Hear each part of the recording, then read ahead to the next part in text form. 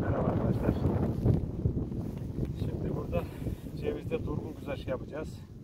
Bugün 21 Ağustos 2021. Geçen burada 7. ayın 6'sı, 7'si, 8'i, 9'unda sürgün güzaş yaptıydık. Bunlar o zaman küçüktü. Bıraktık birkaç tane. Şimdi bunlara da durgun yapacağız. Görüldüğü gibi mesafe 35-40 santim yüksekte yapacağız. Niye yüksekte yapıyoruz? Yarın öbür gün toprak işlemi olur, gübre atma olur ve toprak dol, boğazı dolmasın diye aşı yerleri yüksekten yapıyoruz. Şu anda buna yama göz aşı yapacağım. Çünkü gözümüz küçük.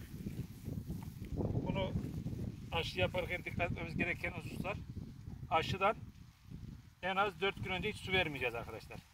Suyu tamamen keseceğiz. Ondan sonra da aşımızı yapacağız. Şimdi bu saatten sonra bunlara su verilmeyecek. Niye su verilmeyecek? Su verdiğimiz zaman yine sürgün olacak. Bu sefer de sonbahar erken donlarına yakalanacak. Onu yakalanmasın diye su vermeyeceğiz. Görüldüğü gibi burada boşluk kalacak bir tarafında. İki tarafında da kalsa bir sıkıntı olmayacak. Diğer bir husus hiçbir zaman buradaki yaprak arasındaki gözleri köreltmeyeceğiz. Durgun göz aşıda.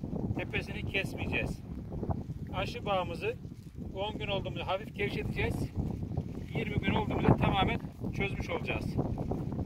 Ama kesinlikle ne tepe vuracağız, ne gözleri körelteceğiz, ne de sulama yapacağız.